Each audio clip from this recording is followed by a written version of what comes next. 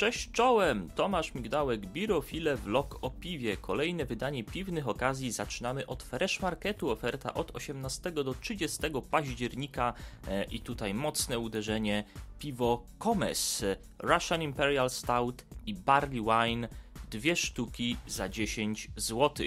Taka oferta e, we Fresh Markecie, e, czyli 5 zł za Risa z Fortuny i 5 zł za Barley Wine jeżeli weźmiemy dwie butelki, plus oczywiście jeszcze e, kaucja za butelkę zwrotną. To we Fresh Markecie wychodzimy.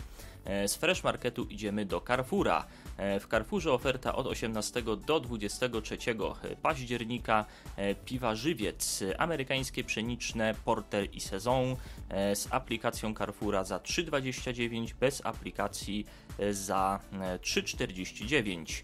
E, ponadto e, piwo autorskie e, z ukraińskiego browaru Persza Prywatna Browarnia w cenie 4,39. Ponadto z lata Bohemia, czyli czeski lager za 4,39, a także piwa rosyjskie. Trzy góry, nie wiem dokładnie jakie, chyba jakiś ale w ozdobnej butelce litrowej za 8,99, a także E, w butelce 0,75 z korkiem, e, piwo e, Fifth Ocean, czyli English Strong Ale, również jest to piwo rosyjskie, oba w cenie 8,99 w Carrefourze. To są właśnie E, propozycje, e, które przygotował Carrefour. E, a my z Carrefoura przenosimy się do Tesco. W Tesco oferta od 19 do 25 października. Tutaj mamy staropramena w puszce za 2,99 puszka półlitrowa, ponadto namysłów Pils, czteropak, cztery puszki w cenie 8,49, a także piwo American Pale Ale z browaru Amber w cenie 3,99 za butelkę. E, to są e, propozycje przygotowane przez Tesco. A teraz już e, przechodzimy do Lidla. E, w Lidlu oferta od 19 do 22 października e, piwo Ciechan miodowe w cenie 4,49 za butelkę. Ponadto akcenty rzemieślnicze.